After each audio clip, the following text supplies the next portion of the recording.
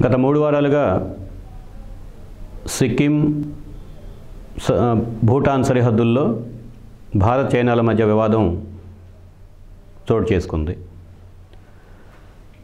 భూటాన్ భూభాగం సిక్కిం సరిహద్దు మీదుగా చైనా చేరుకోవటానికి ఒక మార్గం ఉంది డోక్లాం మార్గం అంటాం. ఈ డోక్లాం మార్గం భూటాన్దా చైనాదా అనే వివాదం ఆ రెండు దేశాల మధ్య గత ఐదారు దశ దశాబ్దాలుగా నడుస్తోంది. అన్ని దేశాలతోటి సరిహద్దు వివాదాలను పరిష్కరించుకోవడానికి దౌత్య సంబంధాల ద్వారా దౌత్య చర్చల ద్వారా ప్రయత్నం చేస్తున్నట్టుగానే చైనా భూటాన్ల మధ్య కూడా డోక్లాం కూడలి ముక్కోణం అంటున్నాం. డోక్లాం కూడలి చైనాకు సంబంధించిందా భా భూటాన్కి సంబంధించిందా అనే విషయాన్ని పరిష్కరింపజేసుకోవడానికి ఆ రెండు దేశాల మధ్య దశల వారీగా సంప్రదింపులు జరుగుతున్నాయి చర్చలు జరుగుతున్నాయి. ఈ క్రమంలో చైనా తన ఆర్థిక అవసరాలకు అనుగుణంగా నిర్మించదలుచుకున్న ఒక రహదారి డోక్లాం కోడల మీదుగా థింపు చేరుకోవాలి. డోక్లాం కోడలి భారతదేశానికి వ్యూహాత్మకంగా ఎందుకు ప్రా ప్రాధాన్యత కలిగింది? భారతదేశానికి భూటాన్కి సింహద్వారంగా చెప్పుకోదగిన సిలిగురి ప్రాంతానికి అది దగ్గరగా ఉంది. ఆ డోక్లాం సిలిగురి మీదుగా ఈశాన్య భారతంలోకి అడుగు పెట్టడానికి కావాల్సినటువంటి రవాణా సదుపాయాలు సౌకర్యాలు అక్కడ ఉన్నాయి. ఆ పరిస్థితుల్లో భారతదేశం చైనా భూటాన్ మధ్య ఉన్నటువంటి వివాదంలోకి కాలు పెట్టి చైనా నిర్మించదలుచుకున్నటువంటి రహదారి నిర్మాణ కార్యక్రమాలకి ఆటంకం కలిగించడంతో తొలిసారిగా వివాదం తలెత్తింది. భారతదేశ భూ భూభాగంలోకి ఏ దేశ సైన్యం ప్రవేశించినా అనివార్యంగా మనం ఎదుర్కోవాలి. అది భారతదేశ సరిహద్దులోకి ఏ దేశం ప్రవేశించినా ఏ దేశ సైన్యం ప్రవేశించినా అనివార్యంగా దాన్ని అడ్డుకోవాలి. అభ్యంతరం చెప్పాలి. ఆ దేశానికి సమాచారం ఇచ్చి శాంతియుత పద్ధతుల్లో సమస్యను పరిష్కారం చేసుకోవాలి. కానీ ఇక్కడ జరిగింది ఏమిటి? భూటాన్ భూభాగంలో చైనాకి భూటాన్కి ఉన్నటువంటి వివాదంలో భారతదేశం అడుగుపెట్టడం వల్ల ఈ సమస్య చైనాకి భారతదేశానికి ఉన్నటువంటి దౌత్య సంబంధాలని మరింత దిగదార్చే స్థాయికి చేరుకుంది. చైనా భారతదేశాల మధ్య గత మూడు సంవత్సరాల కాలంలో ఉన్నటువంటి సంబంధాలు క్రమేణా తగ్గుతూ వస్తున్నాయి.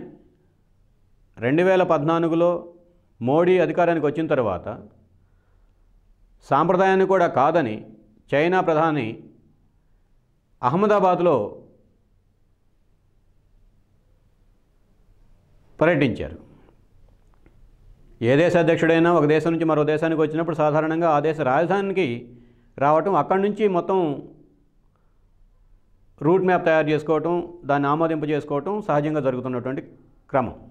ఈ క్రమానికి భిన్నంగా భారతదేశం మీద ఉన్నటువంటి గౌరవంతో భారతదేశానికి ప్రధానిగా ఉన్నటువంటి మోడీ మీద ఉన్నటువంటి గౌరవంతో ఆయన రిక్వెస్ట్ను మన్నించి ఢిల్లీలో అడుగుపెట్టకుండా నేరుగా ఆయన అహ్మదాబాద్లో అడుగుపెట్టాడు మూడు రోజుల పాటు గుజరాత్లో ఉన్నటువంటి గ్రామాలని ఆఖరికి మోడీ పుట్టి పెరిగినటువంటి గ్రామాన్ని కూడా సందర్శించాడు. ఆ స్థాయి నుంచి ఈవేళ సిక్కిం సరిహద్దుల్లో భూటాన్ చైనా భారతదేశం ముక్కోణంలో పెద్ద ఎత్తున ఉద్రిక్తతలు దారేసేంత పరిస్థితికి చైనా భారత్ సంబంధాలు దిగజారాయి. డోక్లాం కోడల్లో భారతదేశపు సైన్యాన్ని రంగప్రవేశం చేయమని ఆదేశించింది ఎవరు? రక్షణ శాఖ మంత్రి జాతీయ భద్రతా సలహాదార ప్రభుత్వమా ప్రధానమంత్రి సైనిక దళాల ప్రధాన అధికార? ఈ విషయాలు ఏవి మనకు అందుబాటులో లేవు. ఒకవేళ చైనా చేస్తున్నటువంటి ఉద్వేగపూరిత చర్యలు ఉద్రిక్తతలు రెచ్చగొట్టే చర్యలు ఆ స్థాయికి చేరుకుంటే వాటిని నిలువరించడానికి ప్రశ్నించడానికి ఎత్తి చూపడానికి భారతదేశం చేసినటువంటి దౌత్య ప్రయోగాలు ఏమిటి? దౌత్య సంబంధాల ద్వారా దౌత్య మార్గాల ద్వారా చైనా చేస్తున్నటువంటి తప్పుని ఎత్తి చూపడానికి భారతదేశం చేసినటువంటి ప్రయత్నాలు ఏమిటి? ఇవేవి కూడా మనకు తెలియదు. కానీ డోక్లాంలో భారతదేశం సైన్యం అడుగుపెట్టి చైనా సైన్యంతో బాహాబాహి కూడా అనలేము. ఎందుకంటే ఆ రెండు దేశాల సైనికుల మధ్య సైనికుల చేతుల్లో ఆయుధాలు కానీ యుద్ధ యుద్ధానికి సంబంధించినటువంటి ఏ రకమైనటువంటి సాధన సంపత్తి లేదు. సాధారణమైనటువంటి సైనికులు ఫిజికల్గా వెళ్ళి అక్కడ నిలబడ్డారు. వాళ్ళిద్దరూ నెట్టుకున్నారు.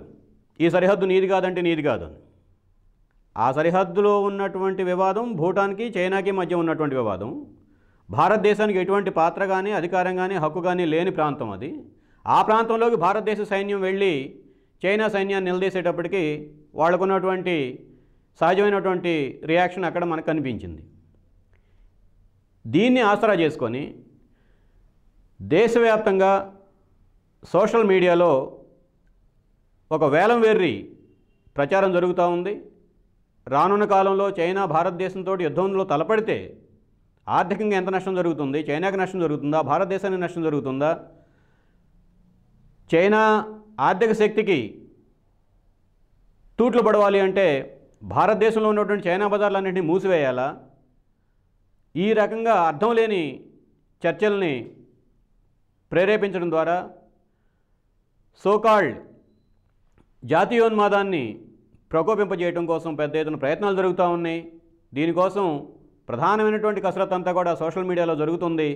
సోషల్ మీడియాలో ఈ కసరత్తు గత మూడు వారాలుగా జరిగిన తర్వాత ఈవేళ ప్రధాన స్రవంతి మీడియా టీవీలు కానీ పత్రికలు కానీ ఈ అంశాన్ని ముందు తీసుకొని భారతదేశానికి వ్యతిరేకంగా చైనా పెద్ద ఎత్తున వ్యూహరచన పన్నుతున్నట్టు ఆ వ్యూహరచనలో భారతదేశం ప్రయోజనాలు కాపాడుకోవడం కోసం ప్రభుత్వం విశ్వ ప్రయత్నాలు చేస్తున్నట్టుగా మనకి వాస్తవాల్ని వక్రీకరించి ప్రజల ముందు పెట్టడం ద్వారా దేశభక్తి యుతులైనటువంటి సాధారణ ప్రజానీకం యొక్క ఆలోచనల్ని దారిమళ్ళించడం కోసం ప్రభుత్వం చేస్తున్నటువంటి ప్రయత్నాల్లో ఉన్న లోపాలని బలహీనతల్ని ప్రజల దృష్టికి రానివ్వకుండా ఉండటం చేయడం కోసం పెద్ద ఎత్తున కసరత్తు ప్రచారం జరుగుతూ ఉంది.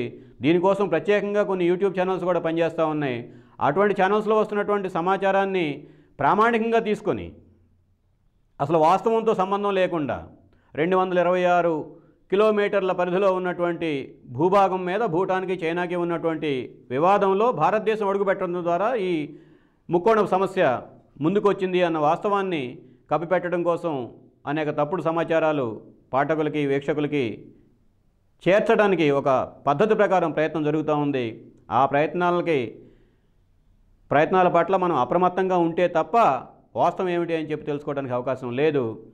పెద్ద ఎత్తున భారతదేశానికి పాకిస్తాన్కి ఉన్నటువంటి వివాదాలు ఉద్వేగపూరితమైనటువంటి సందర్భాలు క్షణాలు మనందరికీ తెలుసు. అటువంటి పెద్ద ఎత్తున తారాస్థాయిలో దౌత్య సంబంధాలు దెబ్బతిన్నటువంటి పాకిస్తాన్ తోటే మనం వివాదం వస్తే అనేక ప్రత్యామ్నాయ మార్గాలను ఎన్నుకుని పరిశీలిస్తూ ఉన్నాం. ఆ ప్రత్యామ్నాయ మార్గాల ద్వారా వివాదాన్ని పరిష్కారం చేసుకోవడం కోసం ప్రయత్నాలు చేస్తూ ఉన్నాం. అటువంటిది చైనాకి శక్తివంతమైనటువంటి మిత్రుడిగా భారత్ భారతదేశానికి శక్తివంతమైన మిత్రుడిగా చైనా అని స్వయంగా మోడీ గారు అహ్మదాబాద్లో ప్రకటించిన తర్వాత గత మూడు మూడు సంవత్సరాల కాలంలో ఈ రెండు దేశాల మధ్య ఉన్నటువంటి వివాదాలు చై పా భారత్ పాకిస్తాన్ మధ్య ఉన్నటువంటి వివాదాల స్థాయికి పతనం కాకపోయినప్పటికీ ఈ రకమైనటువంటి ఉద్రిక్తపూరితమైనటువంటి వాతావరణాన్ని సృష్టించడానికి కారణం ఎవరు అనేది మనం ప్రభుత్వానికి వేయాల్సిన ప్రశ్న. ఆ ముక్కోణ భూభాగంలో మన భారతదేశానికి సంబంధం లేని భూభాగంలో భారతీయ సైనికుల్ని పంపించింది ఎవరు అనేది ప్రభుత్వం వెల్లడించాల్సినటువంటి వాస్తవం. దాని తరువాత వచ్చినటువంటి చర్యలకి మనం కారణమా చైనా కారణమా భూటాన్ కారణమా అనే చర్చకి మనం ముందు తీసుకెళ్ళేదానికంటే బదులు అక్కడ ఉన్నటువంటి అంతర్జాతీయ సరిహద్దుల్లో శాంతియుతమైనటువంటి వాతావరణం కొనసాగాలి అనేది ప్రజలందరూ శాంతి కాముకులైనటువంటి ప్రజలందరూ కోరుకునే అంశం. ఆ శాంతిని సాధించడం కోసం ఎవరు ముందడుగు వేయాలి ఎవరు వెనకడుగు వేయాలి అనేది రెండు దేశ ప్రధానులు దౌత్య మార్గాల ద్వారా పరిశీలించి పరిష్కారం చేసుకోవడం కోసం ప్రయత్నం చేస్తే ఆసియాలో అతిపెద్ద దేశాలుగా ఉన్నటువంటి చైనా భారతదేశాల మధ్య మరింత స్నేహపూరిత వాతావరణం పెంపొందేందుకు అవకాశం ఉంది. ఈ విషయాన్ని మనం దృష్టిలో పెట్టుకున్నప్పుడు సామాజిక మీడియాలోనూ ప్రధాన స్రవంతి మీడియాలోనూ వస్తున్నటువంటి వార్తల యొక్క వక్రీ వక్రీకరించబడి వస్తున్నటువంటి వార్తల యొక్క నైజాన్ని కూడా మనం అర్థం చేసుకోవడానికి ఉపయోగపడుతుంది.